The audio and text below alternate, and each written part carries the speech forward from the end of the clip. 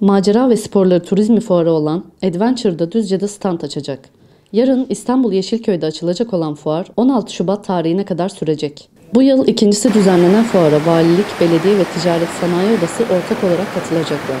Belediye tarafından yapılan açıklamada Düzce'nin doğa sporları için önemine dikkat çekilecek. 13-16 Şubat tarihleri arasında 11 ile 19 saatleri arasında ziyaretçilere açık olacak fuarda Düzce standı 11. salonda A800 standında konuklarını ağırlayacak.